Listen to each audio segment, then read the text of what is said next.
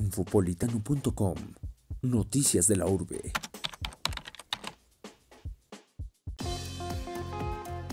Estamos a nada de que dé comienzo la Feria Internacional del Caballo Texcoco 2023 y el grupo de toreros que participará en las ya tradicionales corridas están impacientes por mostrar su talento. Así lo mencionó en entrevista para Infopolitano la leyenda Manuel Mejía.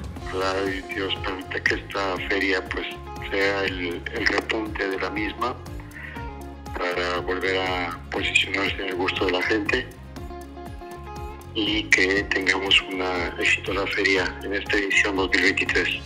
Estas participaciones, aseguró el torero, permitirán proyectar el talento de los mexicanos, que a veces se puede ver opacado por la falta de apoyo o de lugares donde puedan darse a conocer, para entrar en el gusto del público. Los carteles que se anunciaron son con la finalidad de dar oportunidad a jóvenes toreros que ya tienen algunos años de alternativa, pero que desafortunadamente no han eh, tenido las oportunidades necesarias para eh, pues, destacar dentro de la fiesta de los todos en su profesión y con el deseo de que pues su carrera sea impulsada hacia adelante y puedan abrirse otras puertas hacia otras plazas del país.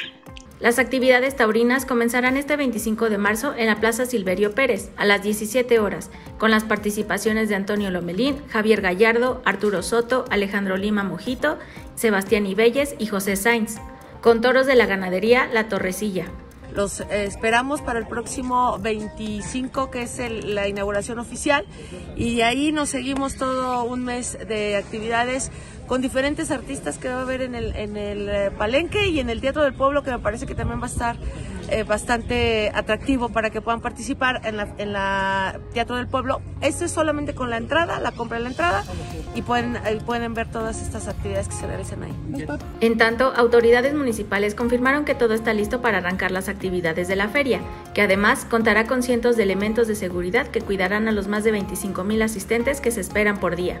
Nos organizamos todas las instituciones eh, de seguridad, Guardia Nacional, Policía Estatal, Policía Municipal, la policía, bueno, la privada que ellos utilizan dentro de, de las propias instalaciones de la feria, Protección Civil, este, el gobierno federal está trabajando con nosotros, la que en este caso es la delegada regional, eh, el gobierno del estado y el municipio de Texcoco, todos organizados para que en esta feria les podamos dar a todos las garantías de que hay eh, instalaciones seguras y que todos los eventos y todas las actividades se van a realizar de manera responsable. Diario tienen alrededor de 25 mil personas, aproximadamente diario.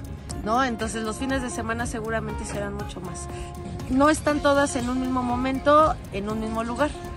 Eh, van entrando, van saliendo, es, es decir, durante todo el día es el registro que se ha tenido. Para Infopolitano, Laura Cortés.